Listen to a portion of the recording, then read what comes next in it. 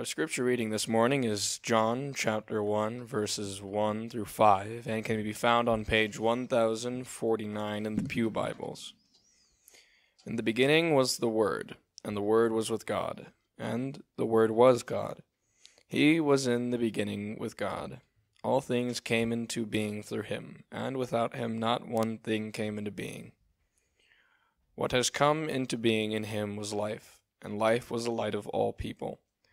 The light shines in the darkness, and the darkness did not overcome it. May the Lord add a blessing to the reading, hearing, and understanding of his word. Amen.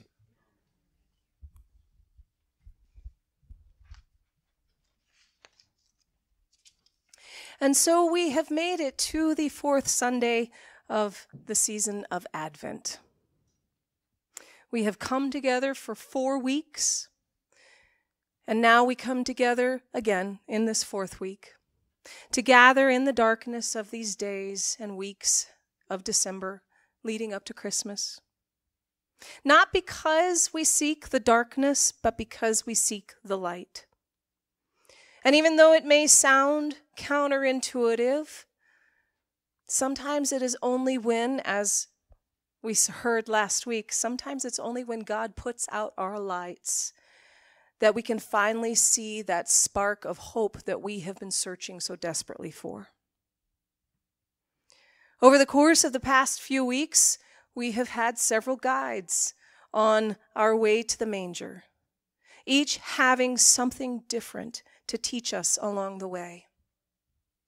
We've spent some time with Mary. We've spent some time with Joseph. And we've even spent some time with our own sense of the darkness when it descends upon us. But mostly we have been led by an anonymous poet who taught us through three simple statements that it is possible to have hope, even in what seems like the most hopeless of situations.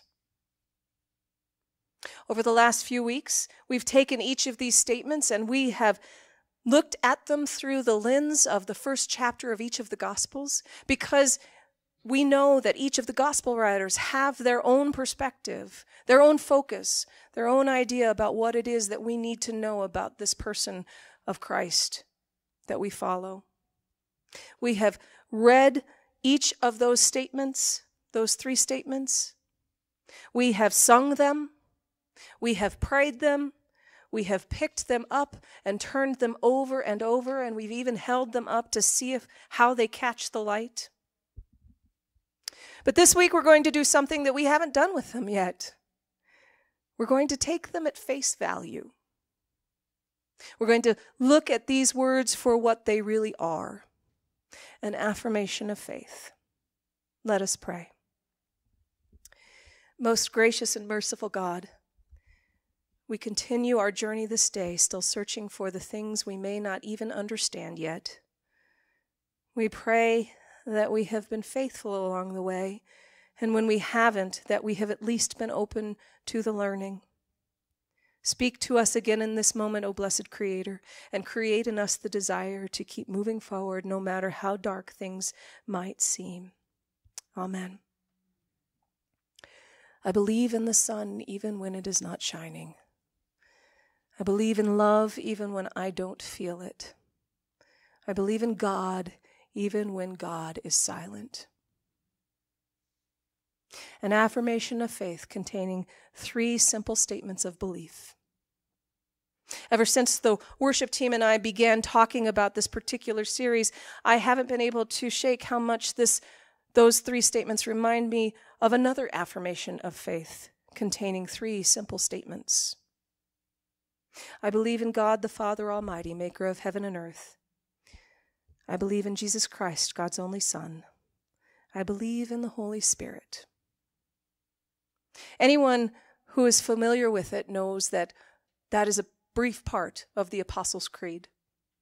And if you know the Apostles' Creed, you know that there is also so much more to it. It goes on to speak of Jesus' birth and death and resurrection. It speaks of the Holy Spirit's work in the community of faith. And legend has it that after the Spirit descended upon the disciples in the book of Acts on that day of Pentecost, legend has it that the Apostle Peter spoke up and said, I believe in God the Father Almighty, maker of heaven and earth. And when he stopped talking, the Apostle Andrew said, and in Jesus Christ, his only Son, our Lord. And they went around the, t- the table like that, a dozen disciples, a dozen sentences, for statements forming the Apostles' Creed. Now, granted, the Apostles' Creed, as we know it, was not, doesn't show up until the 8th century. However, individual lines do show up in some of the second century post apostolic writings. And so we can be pretty sure that these statements that we now speak, when we speak the Apostles' Creed, we can be pretty confident that they're at least derived from, if not exactly what the apostles themselves said when they made their statement of belief. But regardless of where the words came from and how many statements there are and, and how they fit together and who said them and when they showed up, at its core, the Apostles' Creed is an affirmation of faith containing those three simple statements of belief. I believe in God, I believe in Christ, I believe in the Holy Spirit. Now, creeds are as much summaries as they are affirmations of faith and we actually refer to them more as affirmations of faith than creeds. There's actually nine of them in the back of our own hymnal, but there are only two that are considered creeds. Generally, we refer to these things as affirmations of faith. But they are meant to take huge concepts and massive amounts of sacred writings and to be able to say those things as briefly as possible, still maintaining the core sentiment. The Apostles' Creed, when taken as a whole, is a quick summary of the entire biblical canon, a bird's eye view of, uh, of a story that has taken over thousands of years to be told and written. And since our faith began in and among people who really didn't read or write too much, it had to be short and it had to be memorable. Because in the earliest of years, uh, in the earliest years of Christianity, hundreds of Christians facing persecution and probable execution, they refused to bow down to the gods of the Roman Empire. Instead, they stood their, their ground, often right before they were executed, and they said, I believe in the God, in God the Father Almighty, maker of heaven and earth, heaven and earth, and Jesus Christ, his only Son, our Lord no matter what the amount of violence and cruelty that they were facing or the threat of it, it would not get them to renounce Christ or his mission. Jesus' earliest followers were fully committed to following his commandments, and more often than not, that devotion meant that they literally gave their lives for Christ. Additionally, in the earliest days of Christianity, early converts, they would spend months in instruction and studying of the faith. And all the while they would pray and they would fast. And then at the end of their instruction, which would happen on Easter Sunday, they would have an all night prayer vigil. And it culminated the next day when they would wade into the water and when they were baptized, they were asked right before they were immersed, Do you believe in God the Father Almighty, maker of heaven and earth? Do you believe in Jesus Christ, his only Son, our Lord? Do you believe in the Holy Spirit? And after answering each question, they were immersed in the water until it had happened three times and the baptism was complete. In 325 AD, the Nicene Creed came along, and it is much wordier and more detailed than the Apostles' Creed because its original function was wordier and more detailed than the Apostles' Creed. Because you see, for 300 years, for the first 300 years of Christianity, it, Christianity had gone through quite the uh, rapid metamorphosis, if you think about it. In the earliest days, we know, from our own sacred text. They were a persecuted sect, first of Judaism, and then separately a part Christianity itself. But a lot of people considered them a cult or something like that. And because they wouldn't bow down to the Roman Empire, they were often persecuted. And so they went on from that through the course of those 300 years when the emperor constantine decided that he had a um, he went into battle with the cross on his shield. He won the battle and all of a sudden christianity became the um, the legal the the imperial government's official religion. And that was just happened over the course of 300 years. And so since that was its its metamorphosis prior to that it really didn't have any rules, except for the ones that Jesus himself had given Christianity's followers. Because really, prior to that, all they had been worried about was their own survival and the survival of the faith and the spreading of the faith. So they didn't take time to come up with any rules. But in 325, the first council of Nicaea was convened to figure some out. It was basically Christendom's first official attempt to define who we were and how we act now that we were no longer illegal. And so they emerged with the Nicene Creed, and they hoped that it would speak to what it is that we believe and clear things up, but it would also, they hoped that it would also speak against what they considered to be the heretical beliefs of the, daily, of the day, specifically related to Jesus himself. So you see, as Christians, we have a long history of speaking to and declaring, and yes, even trying to figure out what it is we believe. We come from a long line of people who have tried their best to put voice to their beliefs in all kinds of situations and circumstances and for all kinds of reasons.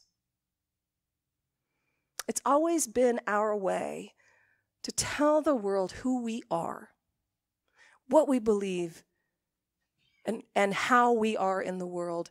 And we hope that they are that we do this in terms that are easy to remember and hopefully easy to understand.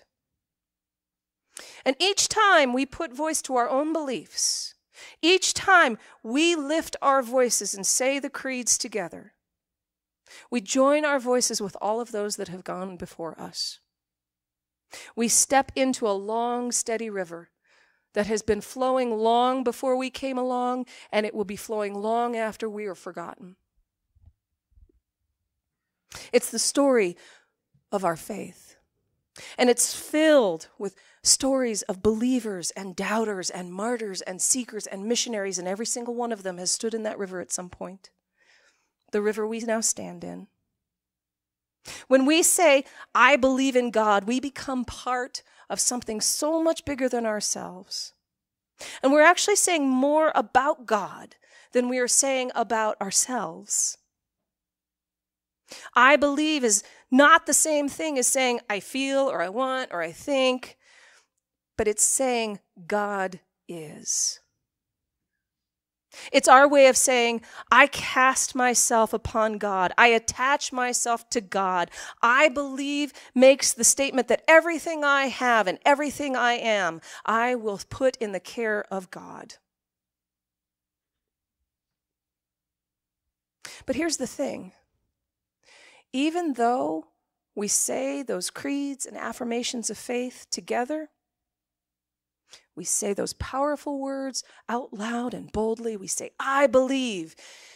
In spite of that, we still say, I believe. Because while we may share our statements of faith and our stories of our faith, our faith journeys are ultimately our own. And no one can go on them except for us with the guidance of the Holy Spirit. No one else can take these journeys for us. No one else can do the believing for us. And no one else, no one can make us believe. And that's one of the most powerful lessons about the season of Advent. Because it is in the season of Advent that the rubber hits the road on our faith journeys.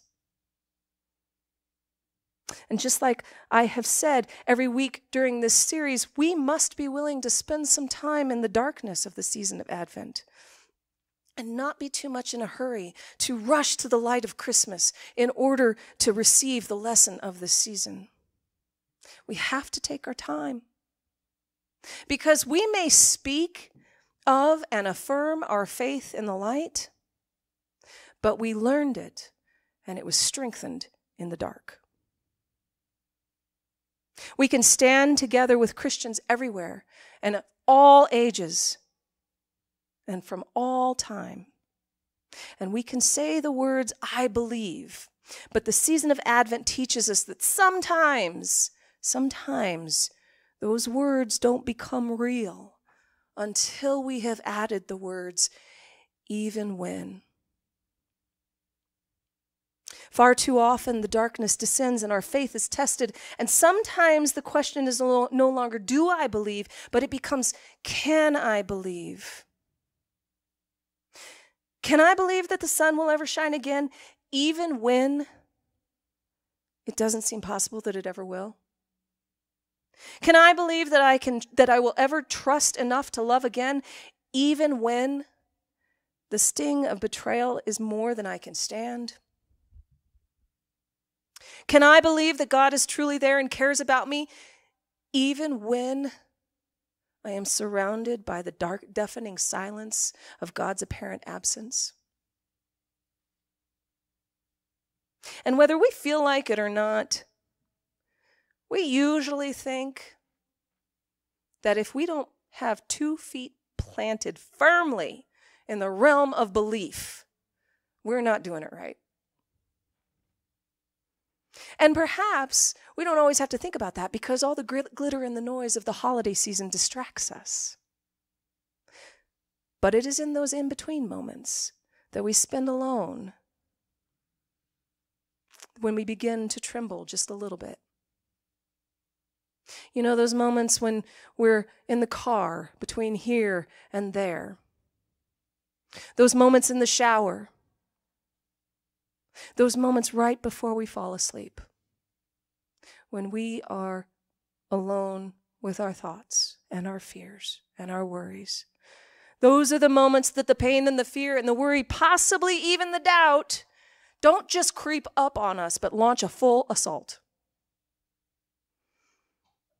And while our belief tries to tell us to wait and watch and hope, we become more and more concerned that maybe we just don't have it in us. And sometimes it is in the waiting and the watching and the hoping that we become so very weary of the waiting and the watching and the hoping. We get the fact that we need a Savior. We understand that. But where is He? When is He going to get here? How long, oh Lord, how long? Because quite frankly, we just don't know how much longer we can hang on. But it is precisely the quiet darkness of Advent that gives us the space we need to find the strength we need. It lets us cry out and wonder and question. And it comforts us with the knowledge that we are not alone and are crying out and are wondering and are questioning. And I'm not just talking about the people that are sitting beside us, because the season of Advent calls us to step into that long, steady river that has flowed long before we ever got here and will flow long after we are long forgotten. It's the river that carries the great story of our faith. Tells uh, the story of the ones that have gone before us the ones that cried out, the ones that wondered, the ones that questioned, the believe the, the questioned, the believers, the doubters, and the seekers. Because you see, Christians have a long history of speaking to and declaring our faith. And maybe even trying to figure out what exactly it is that we believe. We come from a long line of people that have tried their best to put their voice put voice to their beliefs in all kinds of situations and for all kinds of reasons. Even when the question wasn't, do we believe, but rather, can we believe? Can we believe that God can create unfathomable beauty, not just out of nothingness, but out of shamefulness and despair and ugliness, or the most hopeless of situations? Can we believe that we will be set free from the things that hold us captive? Can we believe that out of unconditional and eternal love for us, God came down at Christmas, leaving the comfort and the safety of the heavens to walk beside us in every moment of the human experience and condition. Can we believe that the infant in the manger will save us? Can we believe that what has come into being in him was life and the light of all people, and that that light shines in the darkness, and the darkness did not, nor will it ever be able to, overcome it? Can we believe all these things? Even when they seem impossible? Even when we're afraid to believe? even when we have absolutely no idea where God is in all of this or what God could possibly be up to. Can we believe? Well, my brothers and sisters, be ready. Because the one thing that should never surprise us is that God will always surprise us. God never moves where or when or how we expect, but God is always on the move, creating, redeeming, and sustaining our lives in ways that are so baffling that they can only be of God. And so we should never be afraid to spend some time in the light, in the darkness. And we should never be afraid to hope to stand in the light. We should never hesitate to boldly shout the words, I believe, nor feel ashamed if we also whisper the words, even when. Because it is in the wondering and the questioning and the waiting and the watching that the people of God have always found their way to the manger. To behold the greatest source of hope and glory that this world has ever seen. Let us pray. Gracious and loving God, some of us have come this day and walked through the light to get here. Some of us feel the light of love and hope and joy, and it embraces us in ways that we can't express, but we never want it to stop. And Lord God, some of us walked through the darkness to get here today. In the places where we wonder and we cry out and we question, we feel just a little bit lost. And Lord God, we thank you that whether it is the light or whether it is the dark, you are there beside us.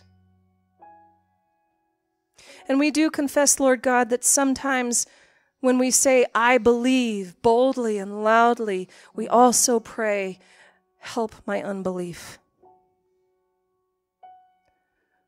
Lord God, we pray that as we go through this journey, not just to the manger, but our journey of faith, that we remember that it is you who guides us, that it is you who we proclaim, and that it is you who hold us in the palm of your hand.